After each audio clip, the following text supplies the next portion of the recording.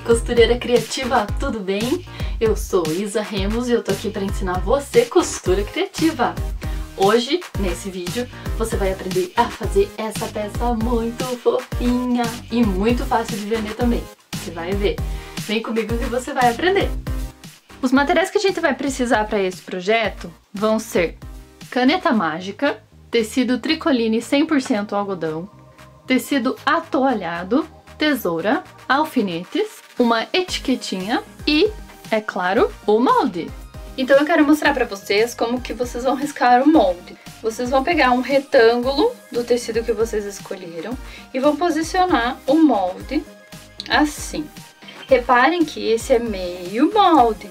Vocês vão ter que espelhar para o outro lado para continuar riscando. Então vamos lá.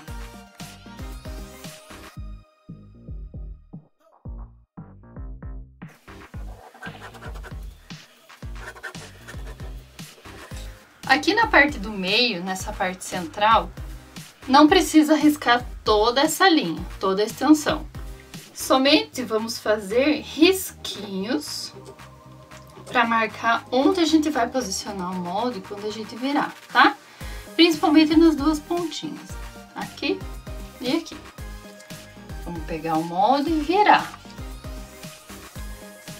E posicionar bem pontinha com pontinha e bem no risquinho que a gente fez aqui, no meio. E continua riscando.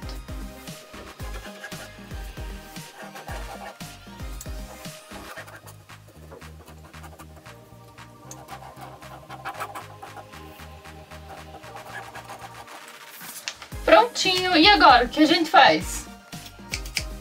Não, não, não, não vamos cortar, ok? Não é para cortar esse molde, ele é feito para costurar no risco e não para cortar no risco. Isso facilita muito a nossa vida, porque a gente não precisa de um corte tão perfeito.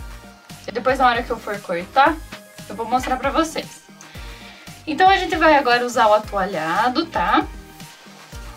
E vou colocar aqui o tricoline por cima.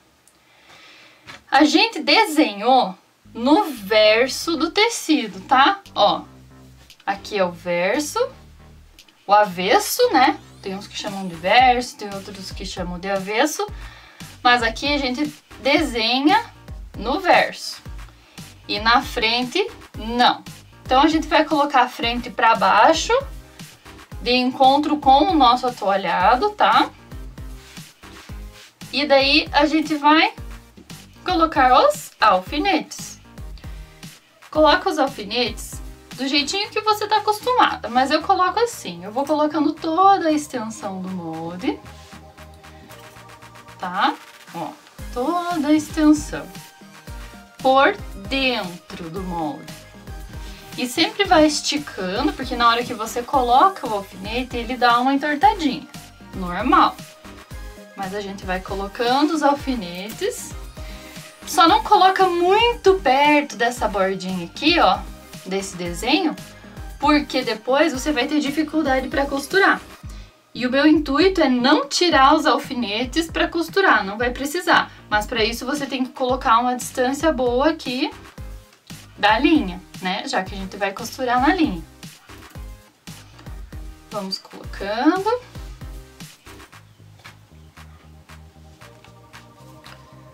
Tá?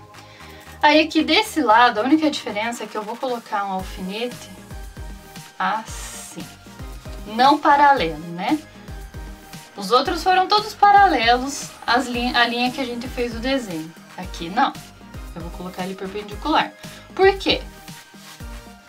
Aqui, ó, entre esse e esse, até vou deixar uma abertura um pouco maior para facilitar depois. Aqui, entre aqui esse alfinete que eu coloquei e esse outro alfinete que eu coloquei, a gente vai deixar aberto. A gente não vai costurar essa parte aqui, para poder depois desvirar esse babadorzinho que já vai estar tá pronto depois que a gente costurar, ok? Então vamos lá pra máquina e vamos costurar esse babador fofucho. Ok, então agora a gente vai costurar. Eu tô aqui numa máquina industrial, mas essa peça dá pra ser costurada em máquina doméstica também sem problemas. São só duas camadinhas de tecido, vai ficar bem tranquilo para costurar. E onde a gente começa aqui a costura? Aqui tem aquele alfinete que eu coloquei na perpendicular e aqui tem o outro. Então eu vou começar aqui para deixar essa abertura livre, tá? Então começa aqui, dá toda a volta e para no outro alfinete lá. Ó, vou começar. Sempre dá retrocesso aqui no começo e lá no final quando terminar. Eu costuro bem devagar porque costurar na linha requer um pouco de precisão, mas é bem tranquilo, não precisa se apressar. É uma peça bem fácil de fazer. É só levantar o pezinho nas curvas, que dá bem tranquilo, ó. Nas curvinhas, o que, que eu faço aqui? Levantei o pé, dou dois pontinhos, levantei o pé, dou mais dois. Levantei o dou mais dois e assim vai nas curvinhas, com bastante paciência para essa peça ficar bem redondinha.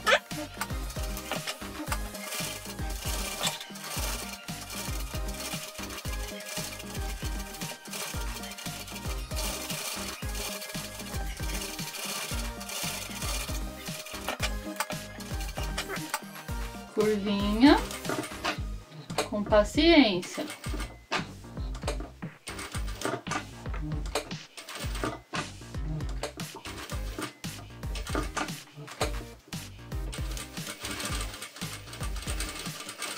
Partes que você vê que é mais retinho e quiser dar uma acelerada, não tem problema nenhum, ó. Agora aqui, eu quero contar pra vocês o que eu faço com a agulha nesse cantinho aqui de baixo, tá? Nessa pontinha. Aliás, na costura, na costura toda é bom fazer isso. Ó, cheguei aqui, agulha para baixo, enfiada no tecido, ok? Assim você pode girar o teu trabalho sem perder os pontos. Vamos lá? Ergue o pé, gira, deixa na linha e continua a costura. Tranquilo, né? Então, sempre agulha para baixo enfiada no tecido. Cheguei no outro alfinete, retrocesso, tira o trabalho, ok? Corta o fiozinho, corta o outro e dá costurado. Vamos lá para a mesa para poder mostrar para vocês como corta? Então agora a gente vai tirar todos os alfinetes. Já pode tirar tudo, não esquece de tirar nenhum. Ok. Ah, faltou um aqui. Ok. Corta todos os excessos de linha, tá? Pra ficar bem limpinho. E agora eu vou ensinar vocês a cortarem que é bem simples. Ó, você vai cortar toda a extensão, deixando uma margenzinha de meio a um centímetro, tá?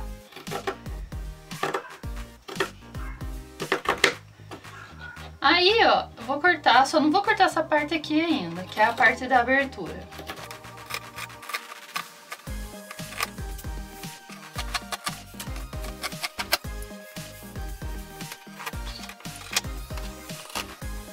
Não precisa ficar bonitinho, pode ficar assim pontudo, pode ficar feio, não tem problema. Vai ficar pra dentro isso, né?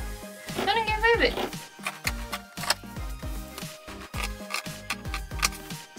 Aí aqui, ó, nessa parte aqui, que é a abertura pra gente desvirar, eu vou deixar um pouquinho maior do que o restante, tá? Um, um centímetro, por aí, ó. Eu deixo um pouquinho a mais, porque facilita depois pra costurar. Pronto, chegou aqui. Pode voltar pro tamanho que tava cortando antes. Aí aqui embaixo, como é uma ponta, né? A gente vai cortar assim. Deixando uma margenzinha bem pequenininha aqui, tá? 2 milímetros mais ou menos. Menor do que o restante que a gente cortou. Tem muita gente que prefere dar piques aqui nas curvinhas, né? Assim, por exemplo, piquezinhos. Nesse trabalho eu não acho necessário fazer isso porque o atualhado é bem molinho, então ele não vai ficar franzidinho quando a gente desvirar, vocês vão ver. Ó. Desvira com bastante carinho, tá? Amaciando as costuras, tá? Ó, assim eu chamo de amaciar a costura. Que daí ela sai todinha pra fora.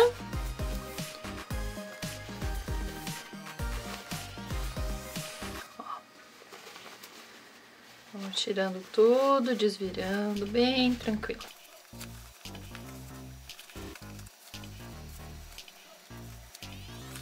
Olha lá. Ok?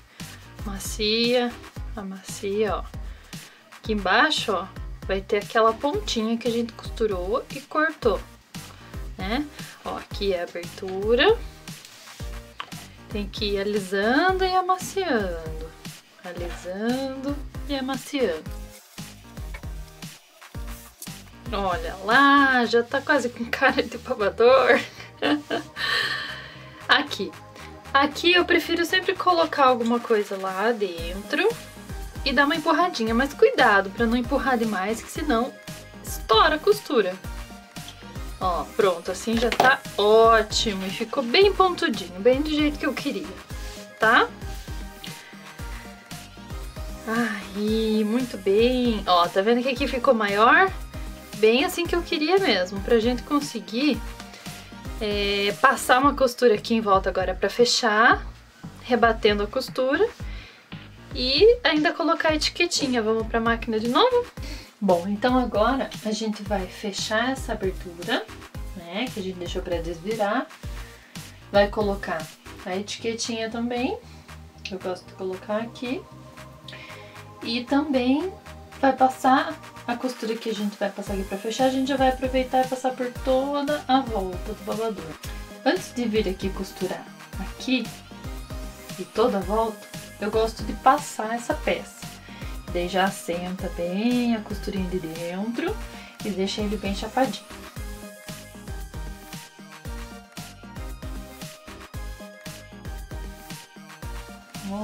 Ver onde que começou a abertura. Então começou daqui.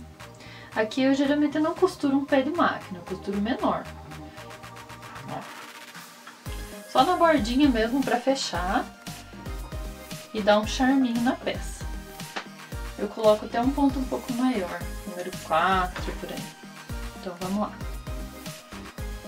Não esqueça também de, de dar o retrocesso, tá? No começo e no final.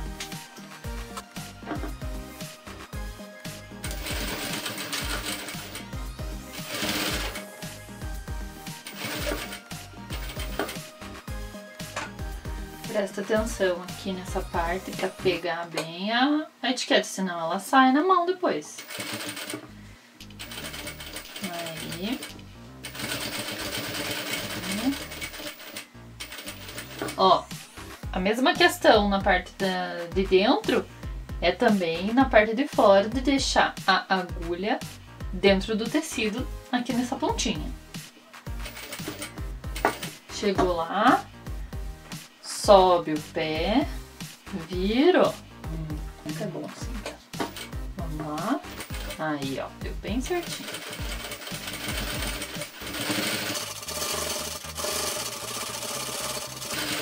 Cuidado sempre nas curvinhas. Ergue o pé, dá uns pontinhos.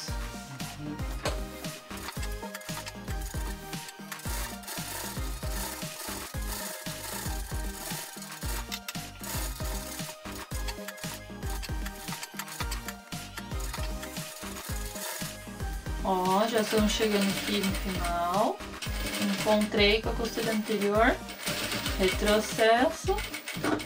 Deu certo. É isso aí. Limpa bem essas linhas aqui, ó. Corta rente. E... Ótimo, muito bem. Agora vamos lá na mesa pra gente ver a questão do fecho. Então, minha amiga criativa, olha só. No molde eu coloquei aqui que a gente pode fazer o fecho desse babador com velcro ou com botão de pressão. Se você não tiver o balancim ou não tiver aqueles alicates que colocam o botão, você pode utilizar o velcro sem nenhum problema, tá? Só cortar um pedacinho quadradinho, esse lado aqui ir por cima, certo? É assim que eu gosto, tá? Vai ficar dessa forma aqui. Então, você vai colo colocar, né, costurar o velcro macio desse lado e o velcro mais áspero desse outro lado aqui. Então presta atenção, né? Ó, aqui no lado do atoalhado, você vai colocar o velcro macio. E desse outro lado, na parte do tricoline, você vai colocar o velcro áspero. Então vai fechar assim. Ok? Mesma coisa se você for colocar o botão de pressão, né? Você vai colocar o fecho virado pra cá é, e o outro fecho virado pra cá, né? Nessa face e nessa face. Então, vou mostrar pra vocês agora como que eu coloco o botão de pressão no balancinho. É bem fácil. Quem tiver interesse em comprar o balancinho, eu já digo que vale muito a pena. Para essa peça, inclusive, eu prefiro colocar o botãozinho tic-tac, que é aquele botãozinho de plástico. Ó, é esse botãozinho aqui. Vou mostrar para vocês as quatro partes dele. São duas iguais, com essa pontinha aqui, né? Ó, essa pontinha por do lado, para vocês verem.